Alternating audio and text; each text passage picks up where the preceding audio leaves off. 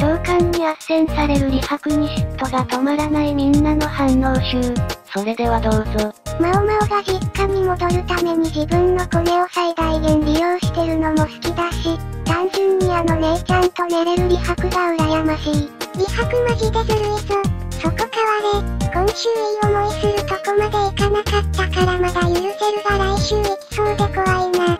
トップの風俗嬢を3人も紹介されたら男なら誰でもこうなるよな。怪しいとラッキーが同時に来て変な感情になりそうだ。木管から鼻吹き出すのマジでおもろい。トップの召喚の人たちはそれほどに素晴らしい存在ってことよね。花巻って大阪でいう飛びた新地みたいなところか。マオマオのやり方が上手すぎるな。男性は人種と利白にしかもらってないから利白り方で落とすのうめえ。かんざしひけらかしてるけど女性からもらったのもあるんだよな。一人はカンガンだからね。これはマオマオの作戦勝ちだわ。そもそも利白ってカンガンでカンガンって男性機能を失ってる人しかなれないんだよね。召喚に行く意味あるのか？と思ってしまった。アニメ勢はその辺の説明が抜けてるから分かりづらかったと思うけどガオシュンはカンガンだけどリハクは武漢って言って男性機能はあったはず。武漢とカンガンの説明がされてないからその辺はややこしいかもしれないけど、リハクは確か武漢だから召喚でも満足できるはずだよ。リハクのマオマオのイメージなかなか終わっててめちゃくちゃ笑ったわ。確かにこれが来たらちょっと困るな。マオマオの第一印象終わってて草。最悪の印象しか持たれてない。毒をうまそうに飲む女だもんな。ウキウキで馬車に乗ってるリハク可愛いというか馬車出せるのがすごいなやっぱ出世頭か。ルンルンなリハクすげえ可愛い。大型犬がめちゃくちゃしっくりくるわ。ロリマオマオめちゃくちゃ可愛いな親父。の呼び方が尊すぎて心臓ギューってなったわ。幼き日のマオマオ可愛いし、お父さんの足が悪いのも歩き方からちゃんとわかるの素晴らしいしマジでこのアニメ本当にどこをとっても素晴らしい。今のマオマオは親父って感じだけど、このマオマオは親父ってひらがなな感じなの可愛い。さすがのマオマオでも毒を飲んだ後はダウンしてるのかなんか人間らしい一面があって安心したわ。毒は飲んでないでしょ。結局飲めなかったけど口に含んだことで次女たちが心配して休ませてくれたとかだった気がするけどな。寝すぎちゃうマオマオこにしか目がいかなかったわ。心配性の次女たちが可愛いしマオマオが愛されてるのも嬉しいわ。次女同士の争いとか色々出てきてたけど翡翠宮の人たちはみんな優しくて好きだな一番平和だしなゴム。リハヒのところでもあったけどつまみ出されてるマオマオとかこの持ち運ばれるとことかデフォルメになるの可愛くて好き。そそくさと運ばれていくマオマオ可愛い。そうだよな。こっちがすっぴんなんだよなあえてブサイクにするメイクってのがおもろい。そばかすがメイクで、こっちがすっぴんかすっぴんとはって感じだなほんと。すっぴんの方が可愛いとかいうわけわからんことが起きてて草。赤ちゃん可愛すぎる。こうやって子供も成長していくんだな勝手に母性爆発して泣きそうになったわ。そばかすの方が落ち着くのも変だよね。せっかく可愛いのにもったいない。抑揚比のこのとっつきやすさも魅力的だよね自助たるもの綺麗でありなさいみたいな精神じゃないからすごくやりやすそう。実際自助だから綺麗であるべきは、上が言わなくても自助が自分から気をつけるだろうからそこは上の責任とかではないと思うけどな。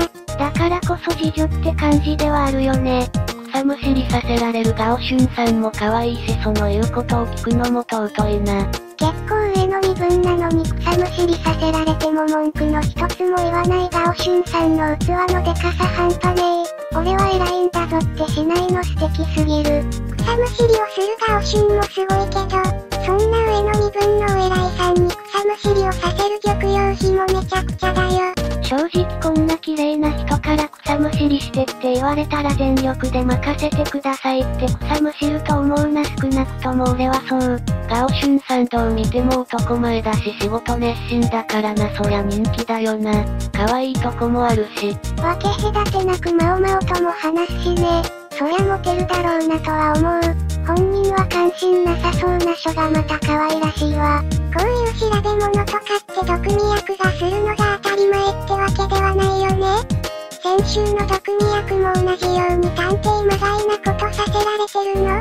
いやさすがにこれはマオマオだけだと思うよ薬屋として、毒味役としてっていう二足のわらじだからこういう仕事も請け負ってるってことだと思う。というか高級の中にこういうことがわかる知識を持った人間がいないだけでしょ。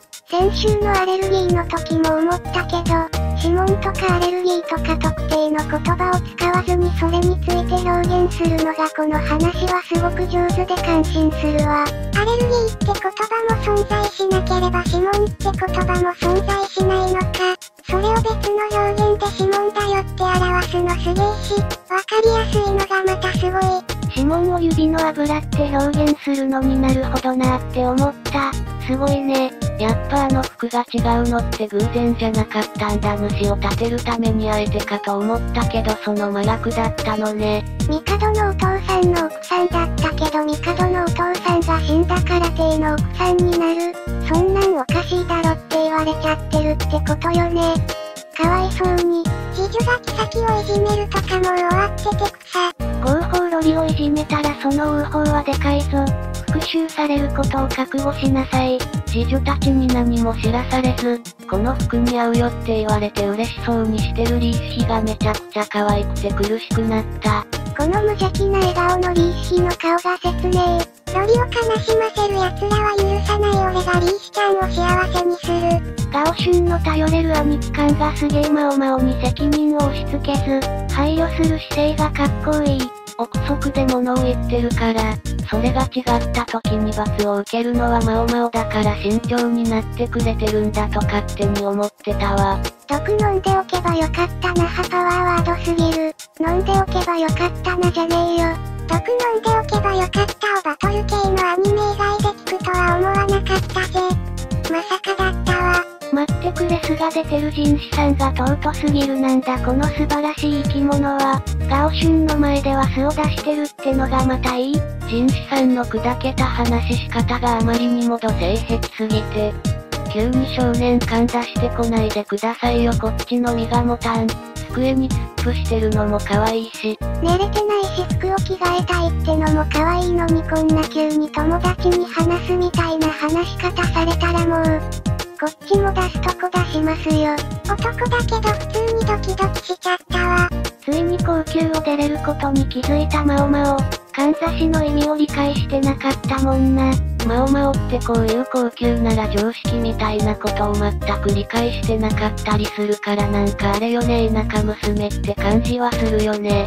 本来ならマオマオが関わる世界線の話じゃないもんな田舎で暮らしてたら知るはずのない知識だし。ャオランちゃんが今日も可愛いね。